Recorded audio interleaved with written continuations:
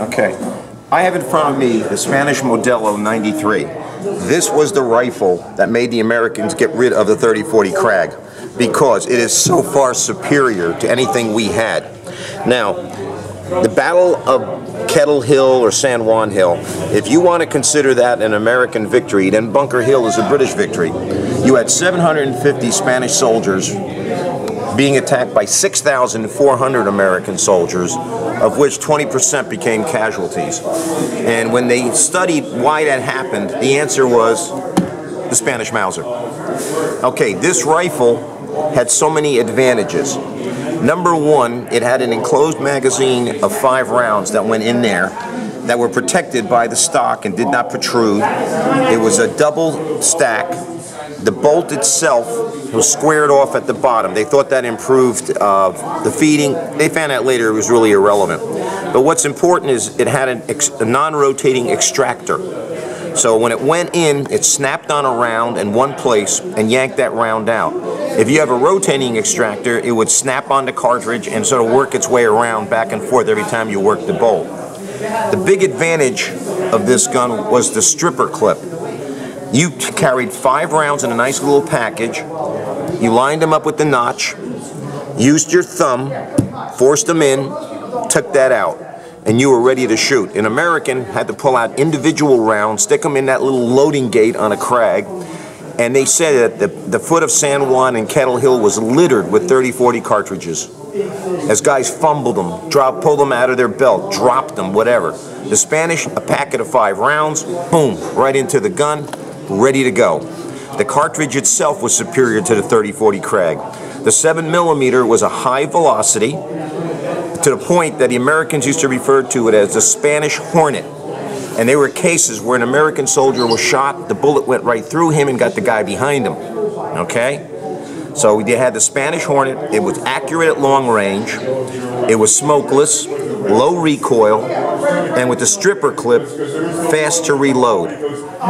So this particular model was made in Berlin by the Lowe Company, L-O-W-E, I think it is. We can make it out there.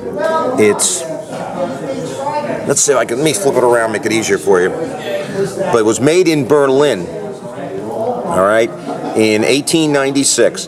Now, when the war was over, the United States had Spanish soldiers surrender their weapons. 10,000 of these guns were then taken to Springfield Armory where they were evaluated and stored. And once we had the 1903 Springfield, these were sold to Bannerman's. And Bannerman would give you a piece of paper saying, this is one of the guns we captured from the Spanish. Rather than saying, these are one of the guns the Spanish surrendered to us when the war was over. Is this one of those guns? High probability. Can I prove it? No. I don't have a provenance letter from Bannerman. When Bannerman sold these guns, he gave you a letter saying these are the ones we got from the U.S. government. Um, Springfield Army didn't seem to keep the serial numbers of these guns. But if you're a collector, you want a Spanish Mauser made before 1899. That is important, before 1899. Did we swipe this off the bar? Yes. okay, so that's what you want as a collector. Now, the bayonet for it, 12-inch blade, and you can see the markings. Okay, now it says 1898. Some people tell me that's the year of manufacture. Other people tell me that was just the year the arsenal was opened. So I can't tell one or the other. But they're marked 1898, so it goes great with this particular rifle. All right, below I have the Spanish carbine model 1893. This one here was made in Oviedo. I don't know if you can see the markings on there, try to get them. This was made in Spain. The Spanish were making them under license.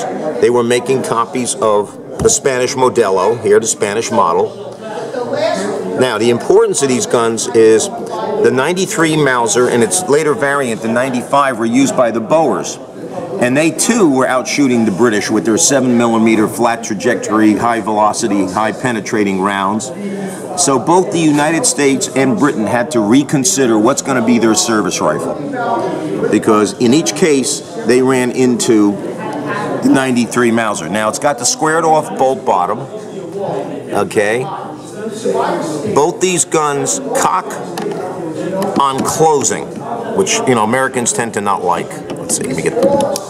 All right, both were made that when you ran out, it would stop, warning you that you're out of ammunition.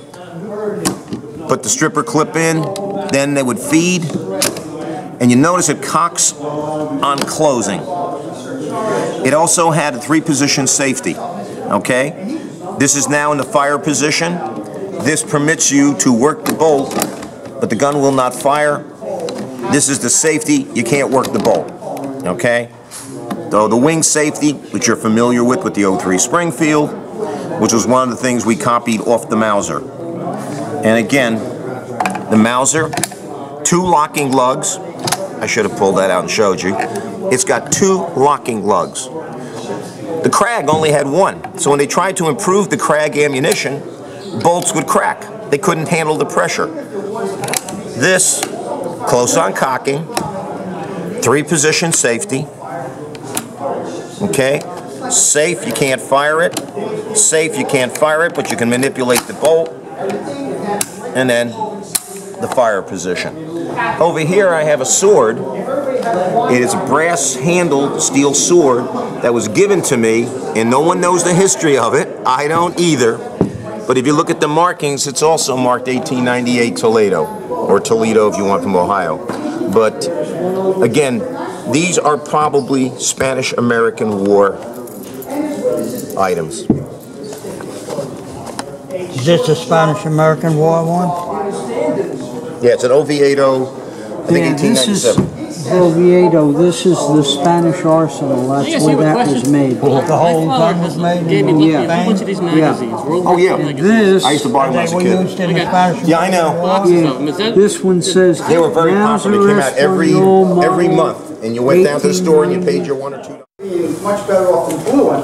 But the first service uniforms that these men received were these khaki, or they call them khaki, only because of color, these cotton drill uniforms such as this. And this is the first pattern. This is, this is now the beginning of the United States Army starting to transitionalize into something a little bit more modern.